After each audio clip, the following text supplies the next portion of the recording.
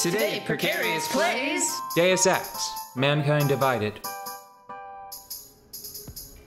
So I've been thinking about other games. I've been thinking like what what did I want from Metroid Dread? What did I want from Fire Emblem Three Houses? Mm-hmm. And I, I like I wanted them to compare favorably mechanically to games developed by, you know, one person, 10 Mhm. people.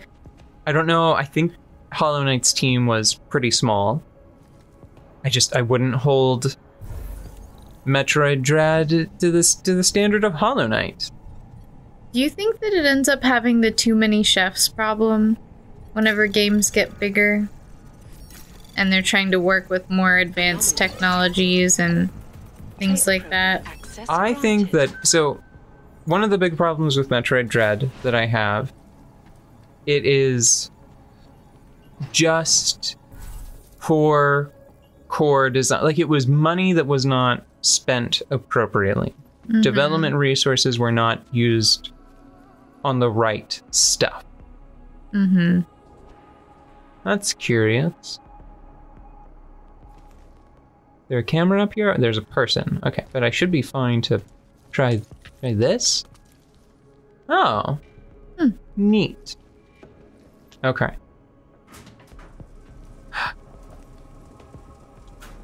So can I think of a, a reasonable example?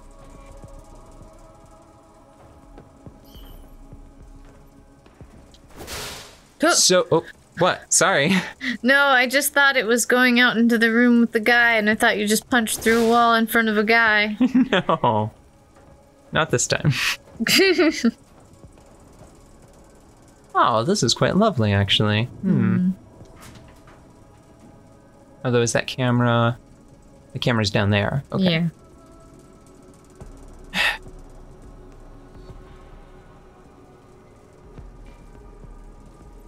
So let me give you an example of one of the things that bothered me about Metroid Dread. Mm-hmm. And I don't think it would have happened in a smaller.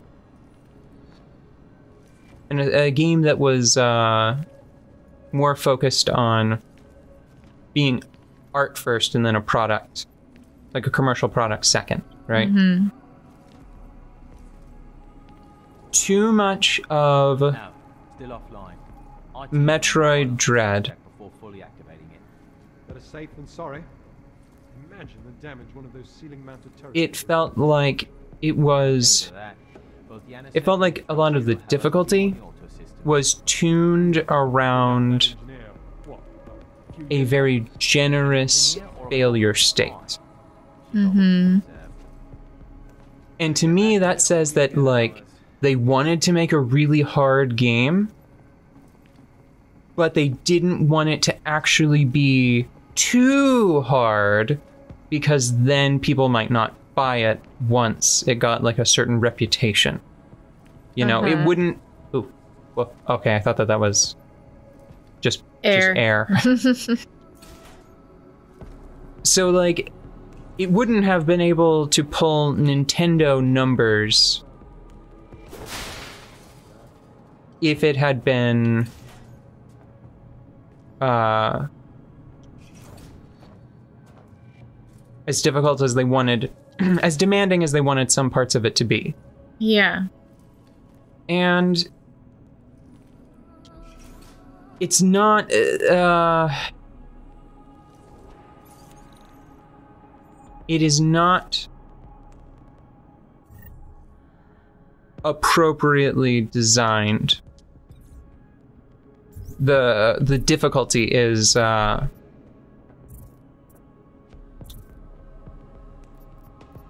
nonsensical. Is one way i might try to describe it.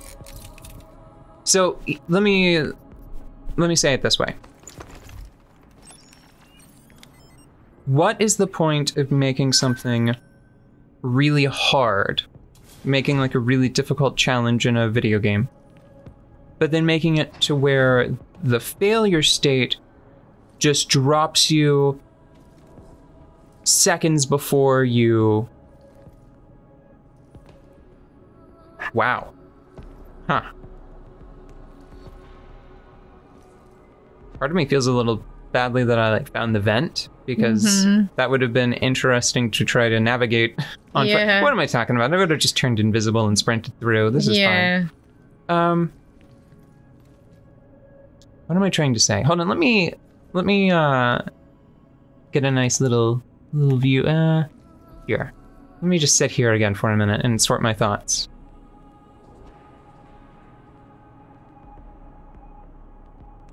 Metroid Dread. I feel like the core of the design, a lot of it is based around. Well, I'm sure that they were going for a sense of dread, which they equated to a difficult game, and it's false. It's fake. It's pretend. And the reason why I say that is because the first time like an EMMI grabs Samus and presumably stabs her in the neck because it's a conservative Nintendo title, a relatively conservative Nintendo title, they don't show it. They black out really quickly. But it's like, where do you go after that? All of the tension is gone. You know? Once that happens. Like from the very first time you mess one of those up, it's like, okay, it doesn't really get any worse than that. So then it just becomes aggravating. A boss that can chunk your energy tanks down two or three at a time, which does happen. I know you haven't played as far into the game as I have, but later bosses, they'll just. No matter how many energy tanks you have, like if you've been keeping up with all of the energy tanks that are available, you can still lose to a boss in like six total hits, Mm-hmm. you know? It feels like the only reason why they balanced it that way is because they knew that the penalty would be dropping someone right outside the boss room to try again.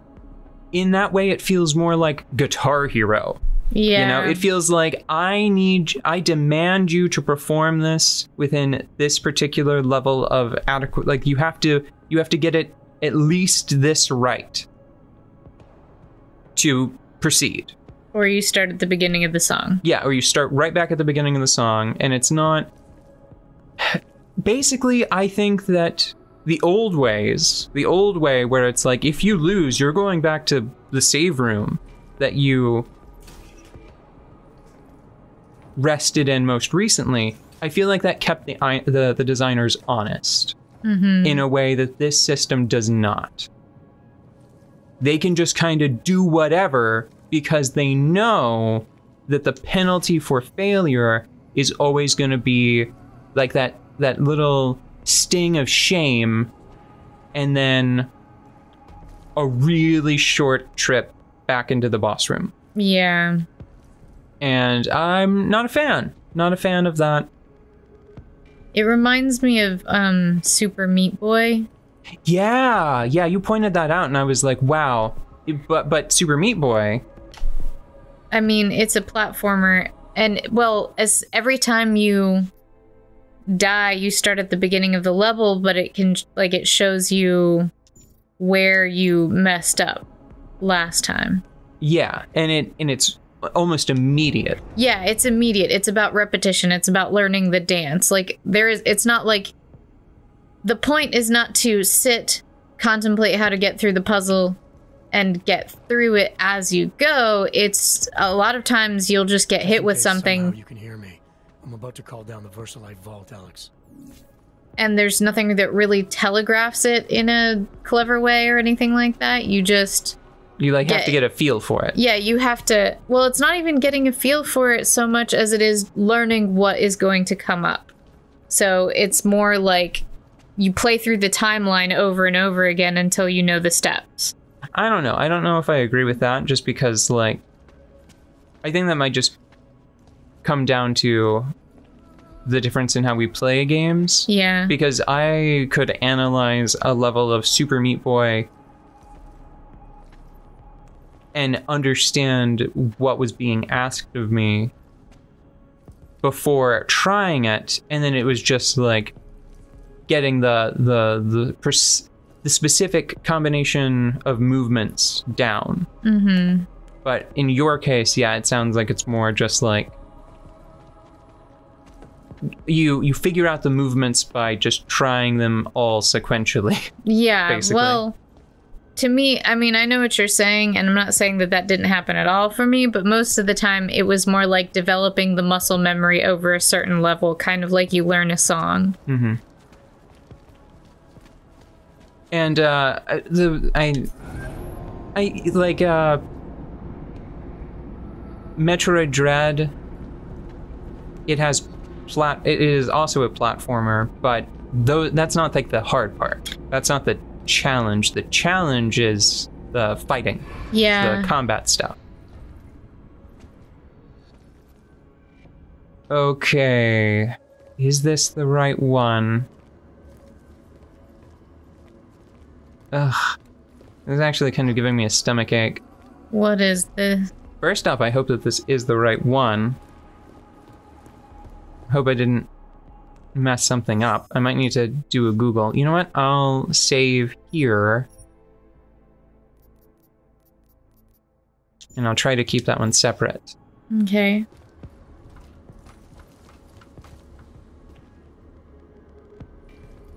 What do you mean the right one? Was there a selection of these? Yeah, you can get other key cards and summon other vaults. Hmm. But I think the VersaLife one. Uh oh.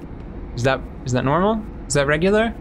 Did I mess something Are up? you gonna mash yourself against the ceiling? I don't think so. Maybe? Probably not. Stop! Oh yeah, it's gonna stop. Okay. Well, that isn't exactly what I wanted it to do. I mean, it's probably fine though.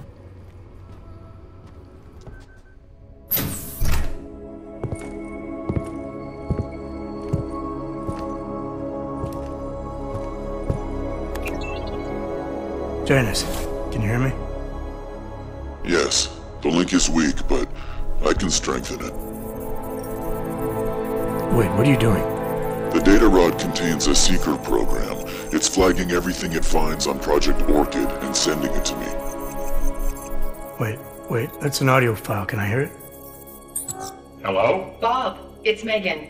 Those orchid samples you told my new assistant to send to Switzerland? I asked him not to bother you with that. It's okay. I told him he could. But it's just.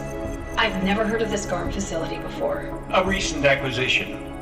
I'll have to take you there someday. That's not necessary. Listen, the changes we made to the orchid's Cas enzymes, they're incredibly dangerous.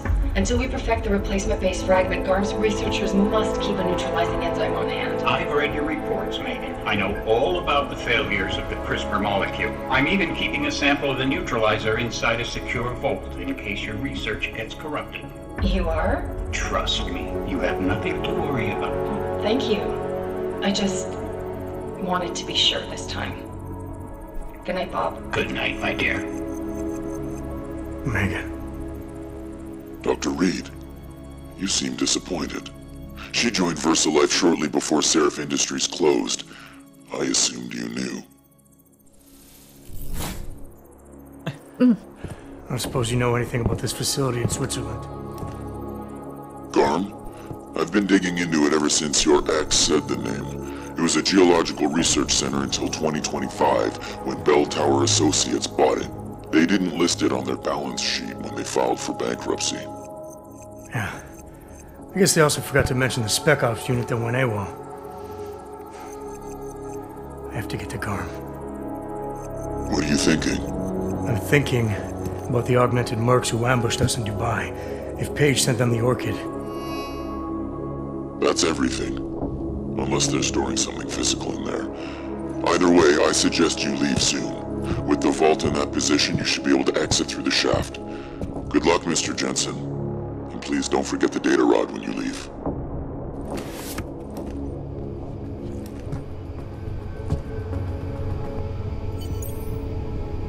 Okay. All right. Oh, uh, is that it? Those are really tiny. What? Oh God, I think that that it, what, man, why is this making me feel so anxious? Good lord. What is it? Hold on, let me explore some other stuff. How close are we to the end of an episode? We are at the end of an episode right now. Okay, well, hold on. Let me.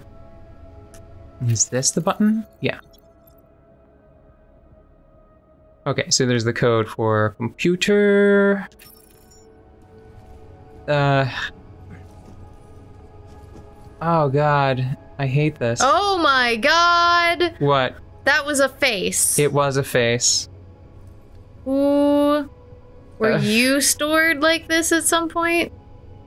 Is that you? Is that a copy of your face? Can you tell? Is it? it it is looks like the facial like hair is really distinct, isn't it? It really is. It looks like an extra copy of yourself. Well, I'm glad you caught onto it so quickly and said it so I didn't have to. I thought it was going to be.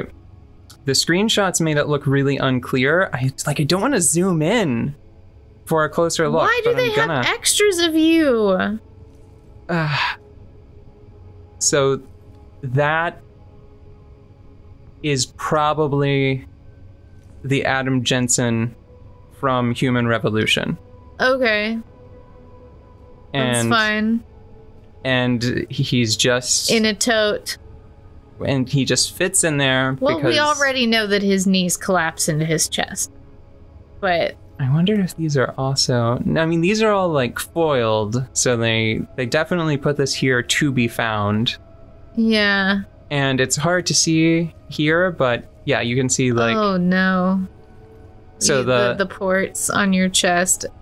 the arms the arms have been removed like this jensen seems to have inherited the augs from that one that's the prevailing theory now i would point out that there's also an equally sinister solution you know which is i think similarly valid which is that there's just uh, adam's youth is a big mystery in the franchise Yeah. uh, across across the the games and the extended media mm-hmm.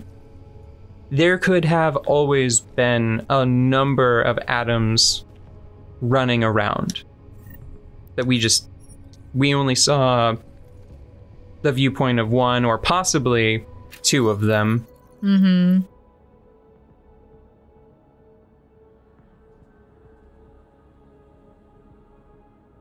I think that this information might be about Adam as well. Neuropozyne may no longer be needed. Mm-hmm. Yeah, that's that's an Adam thing. What's the title of it? AJ09. Yeah, Adam Jensen. That's the one. 2009's Adam Jensen? Or no, 2020. No. The ninth Adam Jensen? Po- Possibly. Possibly. It's. We might never know because. You know, the, I- the franchise might have been put on ice. Sorry. Too I- soon. I. Uh, but that. The, the prevailing theory is that the reason why, like, the Panchaea decision doesn't really matter, why it's not exactly respected between the two games, Yeah. is because the Adam in Human Revolution died there. He died in Panchaea, and we're playing as a different Adam. Um, I don't think that that's necessarily true just because. Nice! I don't think that that's necessarily true just because, uh.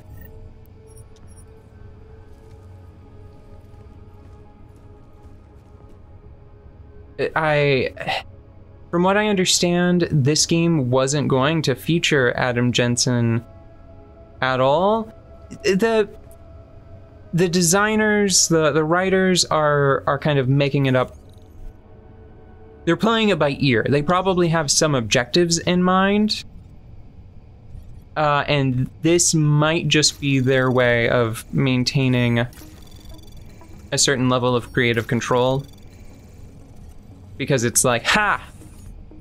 corporate made us include Adam, but it's not the Adam that they thought it was. You know what I mean? Uh huh. I have to digest this for a little bit. Hey. Janus, can you hear me? I think I found that neutralizing enzyme Megan and Page were talking about. We don't have a lot of time, Mr. Jensen. We'll lose contact. No problem, I got this one. I might be able to save a life or two with this, if the orchid shows up again. Okay, I found something interesting. And he said don't leave the data rod. Was that was that just for flavor? Did is that the thing that Adam picked up as he as he left? I think so. Oh. Autocomplete, please. okay, I'll pick through this between the episodes. Give you a minute. I don't know what to do now. Well, I don't. Uh, we'll talk about it in the next episode. I don't think it's actually that big of a deal.